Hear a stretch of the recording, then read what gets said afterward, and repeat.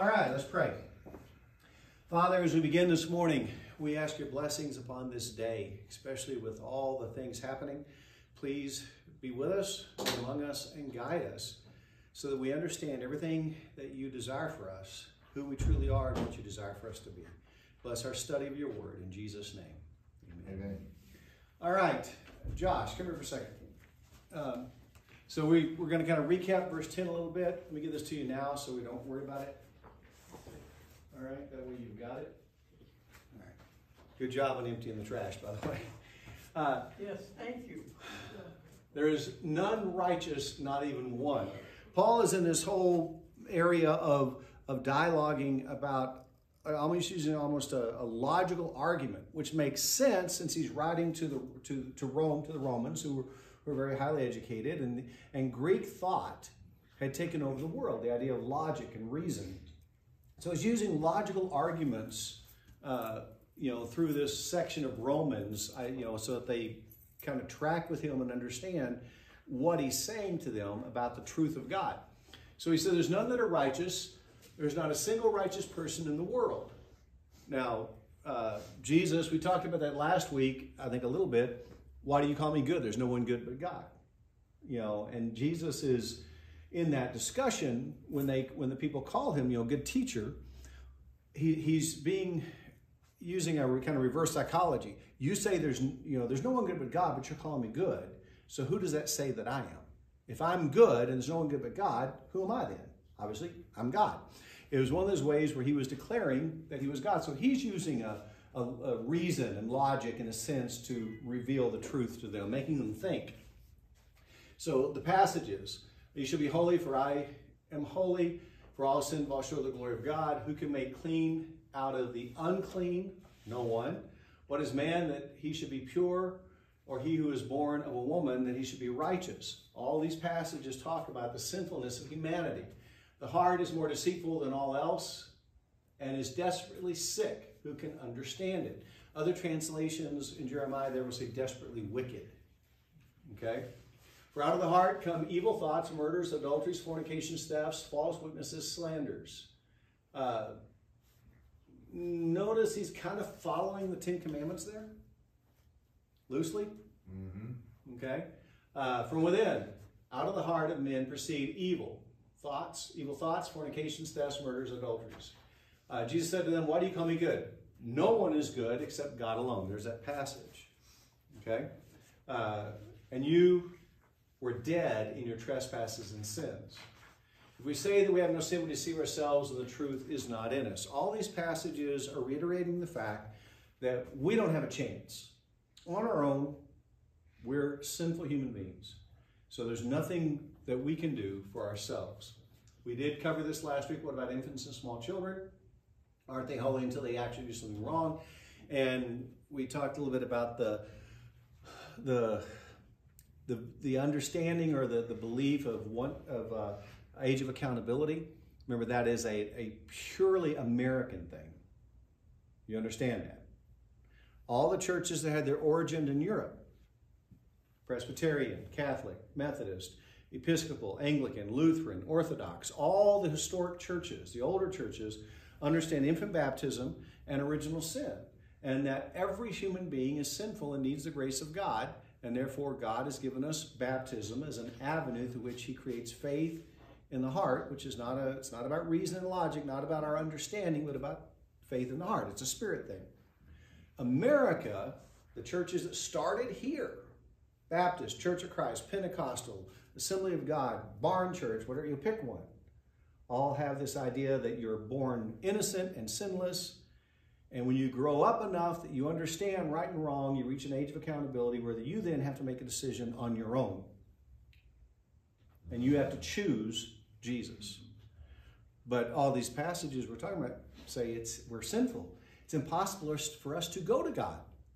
That's why it's about grace. God comes to us. And it's not an age thing, it's a spirit thing. Mm-hmm. The Holy Spirit communicating with our spirit. So I don't, you know, I usually tell people, you know, not pick anybody, say in the Church of Christ or Baptist church, a kid gets up at 11 or 12 years old in the service when the preacher gives an altar call and he walks the aisle, probably because dad's saying it's time for you to go. That's what he's been taught to do. He's been taught to express his faith this way. Nobody ever got up to walk the aisle thinking, I hate God, I don't want to be a Christian. They walk the aisle because they already love God. They're just taught to express it in a backwards way. It's not that God didn't work. It's not that God doesn't work there. It's just they don't understand how the correct expression of it. We don't deny their faith. We deny their practice, that they wait for baptism till later. Because they also make baptism an outward show of an inward reality. It's me showing the world what I believe. Okay, understand, God never gives us anything to do that doesn't have a purpose. God never does anything just for show. When, he, when Jesus institutes the Lord's Supper, it's not just for show. There's something significant going on here. When he tells us where to baptize, it's not just for show, there's something significant, and it's always God doing something. Because grace is always directional, it's always God to us. We respond to grace. It's not about what we do, it's about what God is doing in us. So, uh, the Lord smelled the, smooth, the, soothing aroma, and the Lord said to himself, I will never again curse the ground on account of man, for the intent of man's heart is evil from his youth. I'll never again destroy every living thing as I have done. What's God saying? All of them are sinful. From youth, all of them are sinful. That which is born of flesh is flesh, that which is born of the spirit is spirit. When a child is born in this world, is he of the flesh or of the spirit? Flesh. Or the flesh. When the Spirit of God comes, a rebirth of the Spirit happens.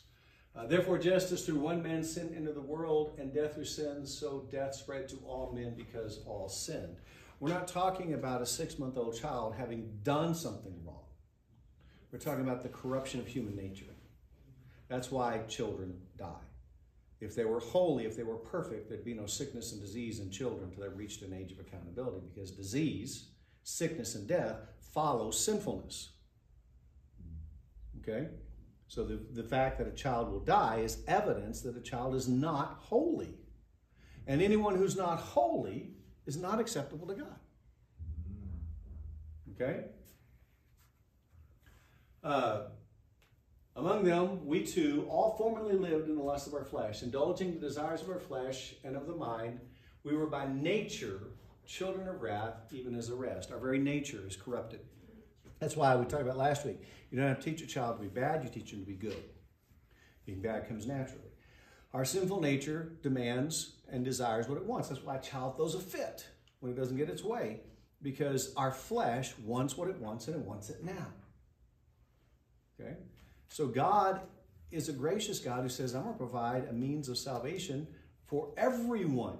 And that's where, you know, having gone to a Church of Christ college, we had this argument a lot. Uh, Peter said, Repent and be baptized, every one of you, and you receive the gift of the Holy Spirit. Uh, re- repent and be baptized, every one of you, for the forgiveness of sins, and you receive the gift of the Holy Spirit. This is for you and your children, and this for as many as the Lord our God shall call. So they say, Peter's preaching to the crowds in Acts chapter 2. They're all adults.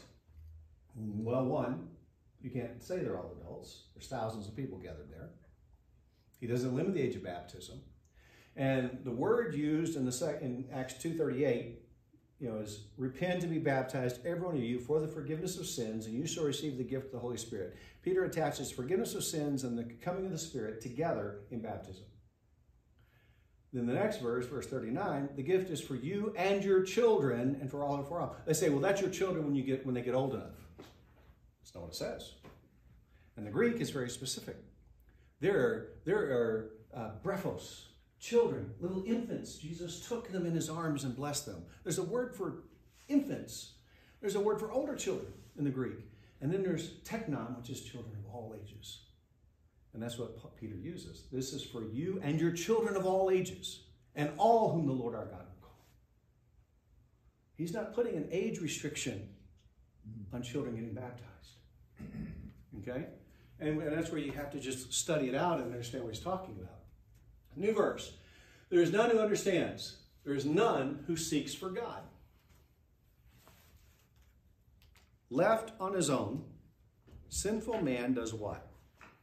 Stay sinful. Creates a God in his own image. Okay. There is, there is the truth that uh, inside every human spirit and heart, we use heart as a slang, you know, shorthand term. Inside every human heart, there's a hole. There's an emptiness. there is this innate knowledge, there's something more than me. And I need to connect with that. So what does man do? He creates a God, but the only thing he can go by is himself. So all the Greek and Roman gods, Zeus and Aphrodite and Mars and you know Athena and you know all these different gods, are nothing but personified human beings. They have all the weaknesses and all the failings of human beings, but they're you know superpowered. Okay, and so they uh, they do all the sinful things. Zeus has many lovers and many children. Okay? Always having affairs. Right? Um, that's how you get the demigods. And so when when man created a God, it was just like him, just mightier than him. So that he could justify himself. If I do these things, that's what the gods do. So I must be okay. Every system of religion that man has ever developed puts puts shows a God that is not perfect and holy, and we only have a certain standard we have to meet to be acceptable. Okay? And if I can meet that standard, I have relative assurance of eternal life. God comes along and says, I'm holy, be like me or go to hell. And we look, hey, I can't do it. It's impossible. I'm lost. God says, okay, I'll love you anyway and I'll save you. It's purely, totally by grace. We can't do it ourselves, so He does it for us. Um, so, in his heart, sinful man thinks he is God. He even refuses to acknowledge and seek the true God. It's not that God didn't reveal himself in the world. Sinful man said, No, I don't want it. Uh, the word there is no one who understands. To understand the sense of perceive or comprehend, there's no one who does that. That's the Greek word up there, sun, uh, sunion. Uh, there's no one who has that desire to truly comprehend and understand God. Even as Christians, we fall short of that. Because we take the, the shorthand version of our Christian faith that we've heard and been taught, and we don't go any deeper. We don't desire to plumb the depths of, of what of who God is and what He's like. I mean, how many of you grew up with the idea that God the Father's in charge? He's the dictator. He tells the Son and the Spirit what they'll do and and they you know, he's the the white bearded man who it's his way or the highway, ready to shoot proverbial lightning bolts at you if you mess up. Is that, that the image that so many people have of God? And you won't find that image in the Bible. God is the, the yearning, waiting father, yearning for his children to come home. He's the old man running down the road. He's the shepherd searching for his lost sheep, the woman searching for the lost coin. His heart is compassionate and loving and he's seeking.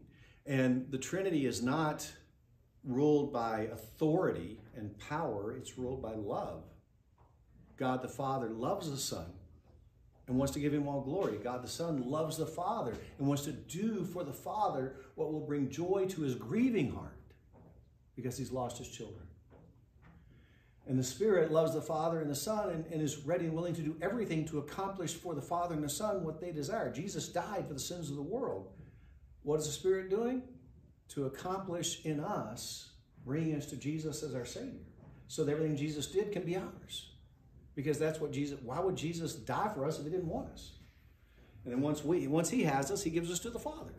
Everything is is about love. My favorite is why would he die for me if he doesn't know me? I said, No, he knows you. He knows you. Even before you were here. And that's where you go to the last chapter of the book of Ecclesiastes, about the second or third verse in the end, where Solomon has talked about old age and what it means to grow old. He uses uh, he talks in allegory. You know, snow caps the mountains. You're feeble on your feet. He uses all these images of, of growing old. The eyes can are no longer shining, you know, no longer bright, and you know you're getting blind, you're getting feeble, you're getting old, and when you die, your body returns to the dust from which it came, and the, your spirit goes back to God who gave it. What's he saying? At the moment Bobby was conceived, the moment sperm hit egg, God created a spirit. Why? Because he wants to know Bobby. He wants a relationship with Bobby, and, he cre- relates to us. You know, he created us as spirit beings as well as flesh. So when you die, your spirit goes back to God who gave it.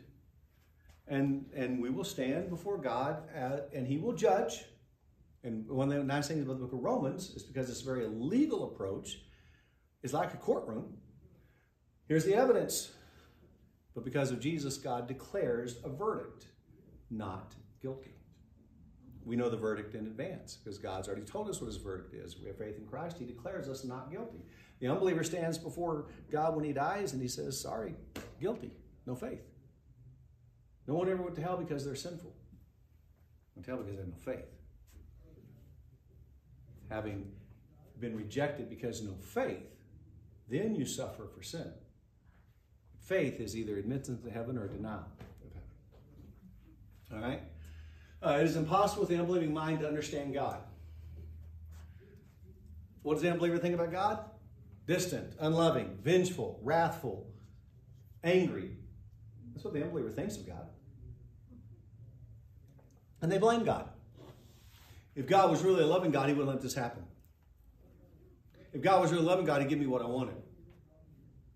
And so they put their perceptions of what they think God ought to be, which are man's idea, on God. It's impossible for the unbelieving mind to comprehend God. Being darkened in their understanding, excluded from the life of God because of the ignorance that is in them, because of the hardness of their hearts. It's not that God didn't reveal himself in the world. Look at creation. Creation testifies to an order. Look at the cosmos, the, the mathematical precision of the planets and everything else. It didn't happen by accident. But because sinful man doesn't want to accept the reality of God, what does he do? He says, evolution. Yeah. And the theory of evolution is a lie. Because you have to, scientific, of course, who knows about science today? Nobody follows science today. That's obvious after COVID. But, but you've got, you've got science, my idea. I have a hypothesis. Mm-hmm. I have to prove it for it to move from hypothesis to theory. And it has to be proven over and over again, like it's consistently always the same, for it to move from theory to fact. Okay? My hypothesis is 2 plus 2 is 4. I add 2 and 2 together and I get 4. That's my, that's my theory. I've demonstrated it. But now I do it over and over and over again, and 2 plus 2 is always 4. That becomes a fact. Try it with any bit of science. They cannot prove the first step of evolution factually at all, ever. So it is still in the hypothesis stage. It's an idea we've got. They've never moved to theory and certainly never moved to fact because they've never been able to demonstrate one bit of evolution. There's no half monkey, half human. Did all of a sudden it just stop? There's no half bird, half dog, or whatever you want to pick. There's nothing in the process of evolution. It didn't just get someplace and stop. If, if, if evolution is correct, it's ongoing all the time. That's the whole premise. It never, you know, and it wouldn't be uh, humans evolved this far and now they're done and something else will evolve. No, we're all evolving if evolution is correct. But there's nothing. So there's no fact to move it from, no evidence to move from hypothesis to theory or theory to fact. Yeah. And yet it's taught as truth. Why? because of the hardness of their hearts. They refuse to accept God because if God is real, I'm accountable. So they have no God. Yeah, I saw this thing where it says that science is a thing of evidence. You need to see it. And that one, and he's a PH doctor, he said, however, if God were to show himself, everything that we studied, everything that we know in science, regardless of how many certificates you have on your wall, will be thrown in the trash if he showed up. That's just it. He did show up. Yeah, yeah, no. I mean, Jesus showed up. Yeah, no, he did. But They don't want to accept that. Yeah, but they won't exactly. Exactly. They won't accept that. So even though they knew God, they did not honor him or give him thanks, but became futile in their speculations and, and their foolish hearts were darkened. Another passage that emphasizes the same thing. All have turned aside. Together they have become useless. There is none who does good. There, there is not even one. So Psalm, so Paul's quoting Psalm 14. What is the meaning? All humanity is worthless, being of no value, and sinful, deserving wrath. That's reality. How does that make you feel? It, ma- it makes me feel bad for my fellow brothers who don't believe, but it makes me feel good that I do believe. Well, but you know, all have turned aside. Together they have become useless. There is none who does good. There is not even one. All humanity is in the same boat. We are worthless. There is no value in this at all. Okay? The only value you can get is the $28 worth of minerals in your body if they were to boil you down. That's about it. Okay? But watch. They have quickly turned aside from the way which I commanded them. They have made themselves a molten calf and have worshipped it and have sacrificed to it and said, This is your God, O Israel, who brought you up out of the land of Egypt. We ought to have found only this that God made men upright, but they have sought out many devices. Solomon talking about that. My people have committed two evils. They have forsaken me, the fountain of living water, to hew for themselves cisterns, broken cisterns that can hold no water. Okay? What's Jeremiah doing figurative? They, you know, I'm the source of living water. Maybe you kind of idea where Jesus got that idea when he's teaching it. And what you do can't even hold water. you make your false gods. Okay? The cisterns, those are like vases. Well, a cistern is a thing that catches water. Okay? Uh, throw out the worthless slave into the outer darkness. That place there will be weeping and gnashing of teeth. The fool said in his heart, There is no God. They are corrupt. They've committed abominable injustice. There is no one who does good. For all of, of us have become like one who is unclean, and all our righteous deeds are like a filthy garment. All of us, like a leaf, wither, and our injustices, and I'm our iniquities, like the wind, take us away. Now, there's several things in that passage out of Isaiah that you don't normally catch. I don't want to gross anybody out. Jackie's probably heard this before. Filthy garment and a leaf. Where do you get the image of a leaf? Is that, is he referencing to a period? Well, Garden of Eden. Yeah. Fig leaves aren't going to cover. Mm-hmm. Filthy garment. This garment stained. All one is unclean.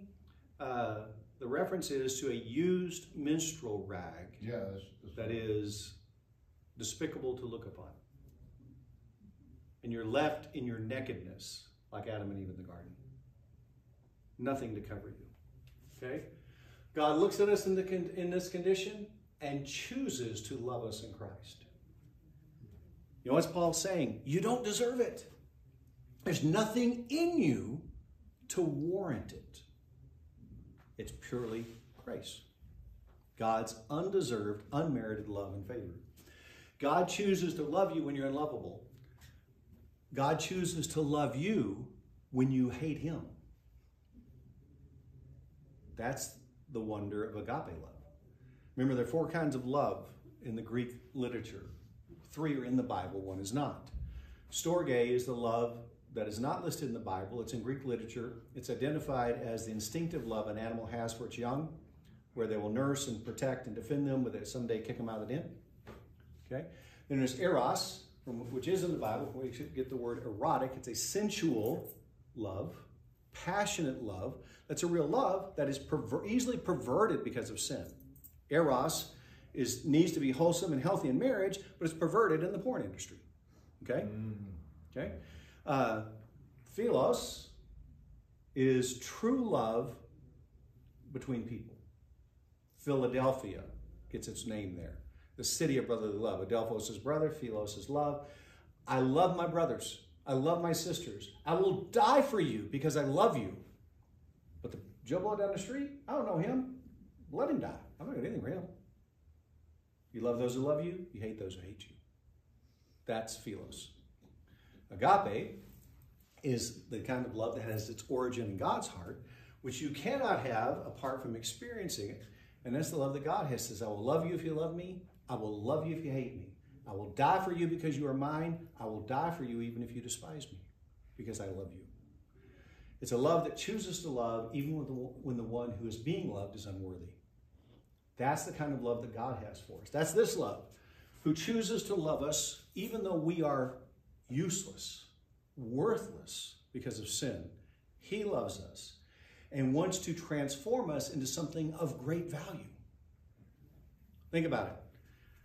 They mine a rock out of the ground. That rock is a rock. But when they refine it, it becomes gold. Take all the impurities away and make something of value out of it. Something with a diamond or whatever. It's just a rock until the master puts his hand on it and creates something wondrous out of it. The only that illustration falls falls short because there's something of value in that to begin with, but you, you don't see it until the master works it. Yeah. God takes us who are worthless and of value and creates in us something of worth and value in his eyes through faith. Yeah. So, I did a, a, a short sermon for Kermit on this, on the, that philosophy we are just talking about, the sculptor. And how God sees us as a, a molded clay and he starts chipping away all the bad until he reveals who you are, and that's a true Christian. Mm-hmm. And the story of the sculptor, I picked that up from the story of the sculptor. Mm-hmm. he sees a block of stone, there's nothing there. Yeah, But, but when he puts his hand to it, a masterpiece emerges. Pastor Russ, even though you, uh, you've been a pastor most of your adult life, have you ever felt unworthy? Yes. Remember? Until I finally came to understand, um, and it took me being honest. I thought for the first almost 20 years I served as a pastor that I wanted you to go to heaven. I knew God loved you and wanted you, but I was going to hell because I wasn't worthy. You know, because everything that happened in my past, I and the scars that are there, I felt like God really wouldn't want me. But I know God's good.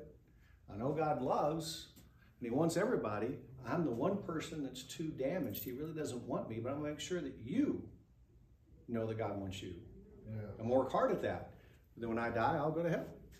I was okay with that. Frightening how you can be deceived. Yeah, because I was reading on that sermon paper you gave me, where Billy Graham stated that he always felt unworthy to preach a sermon. Mhm. So, all of us like sheep have gone astray. Each one has turned to his own way, but the Lord has caused the iniquity of us all to fall on him. Who's the him? Jesus? Jesus. For you were continually straying like sheep, but now you have returned to the shepherd and guardian of your souls. Who's that? God, Well, Jesus, Jesus. the shepherd and guardian, the one who guards your soul. Okay? Protects you. Who, who gave himself for us to redeem us from every lawless deed and to purify for himself a people for his own possession, zealous for good deeds. To purify, no longer worthless, no longer of no value, like purifying a rock and turning into some into gold. You know, all the impurities are taken away and you have something that's pure. Again, he's talking about the unbelievers. Man without knowledge of God. Their throat is an open grave. Their tongues, with their tongues they keep deceiving. The poison of asps is under their lips. Pretty strong statement. Paul is is blasting them. You know, he's walking, he's going into a city that is the capital of the empire, where every belief system in the world at that point is present. You can go believe in reincarnation, you can go believe in Zeus, you can go believe in, you know, whatever you want. All all religions are equal. Okay? And they all accept each other. Christianity comes in and says, All you are false, and they say, We hate you. Because Christianity says, We have the one true religion. Okay? So, Paul is again quoting scripture to declare the truth.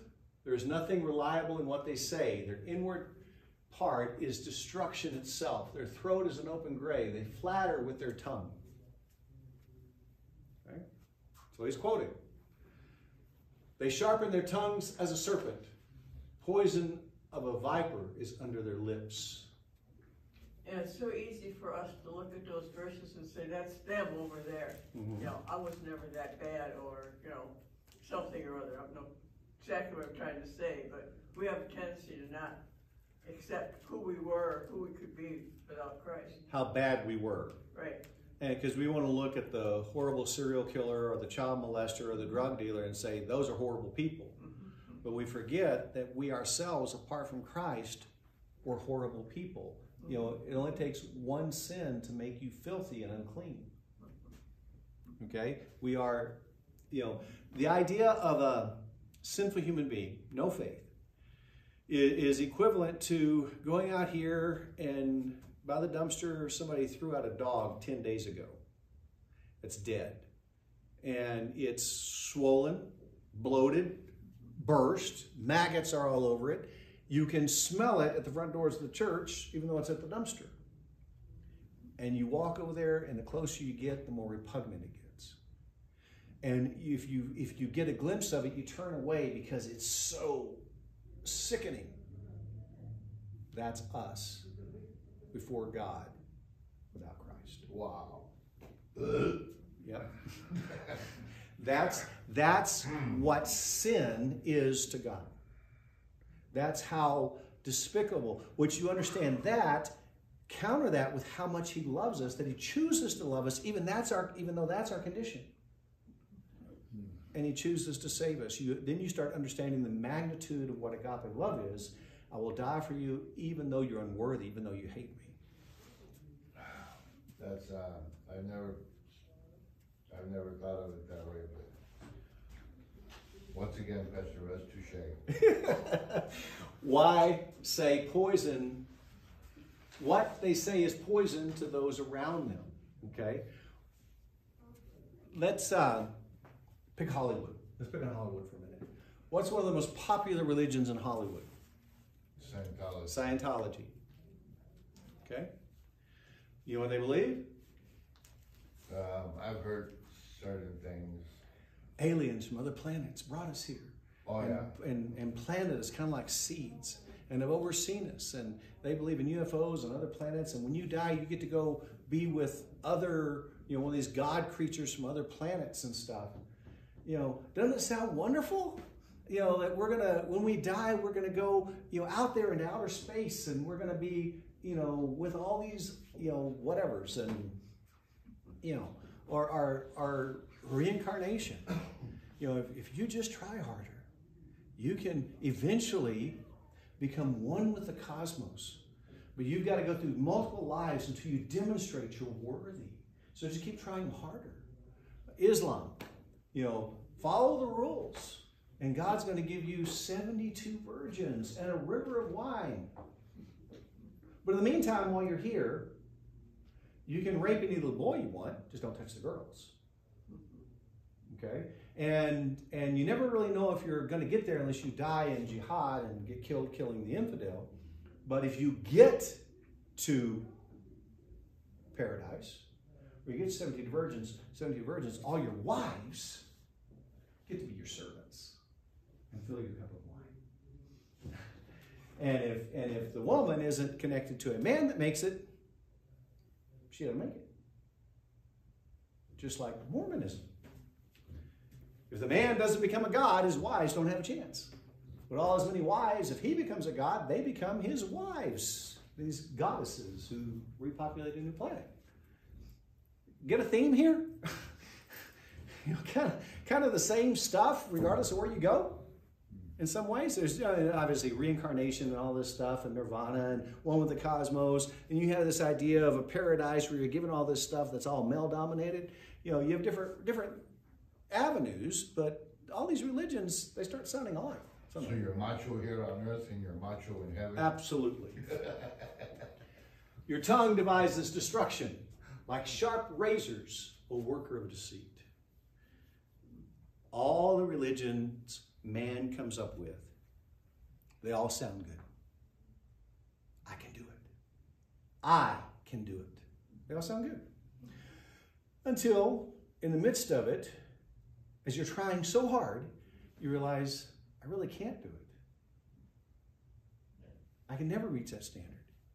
So either walk away or live in despair. What, happens when Christianity comes along?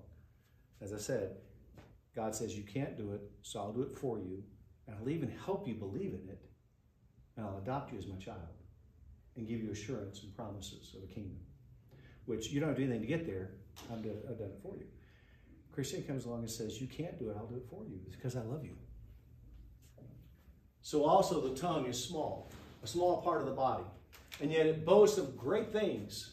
See how great a forest is set afire, aflame by such a small fire. That passage is often used to talk about gossip. That this little bitty organ called a tongue can create a forest fire. Here in context, we're talking about lies and deceit, but don't gossip, doesn't gossip fall under the category of lies and deceit? Yeah. What do you scribes, Pharisees, hypocrites? You are like whitewashed tombs, which on the outside are beautiful, but inside they are full of dead men's bones and all uncleanness. Now, Jesus had two ways of dealing with people. By my recollection, only two. He dealt with sinful human beings who understood they were unworthy, understood they were guilty, with great compassion and grace. The woman caught in adultery, go and sin no more. You know, is there no one left to bring a charge against you? None, my Lord. Neither do I condemn you. Go and sin no more.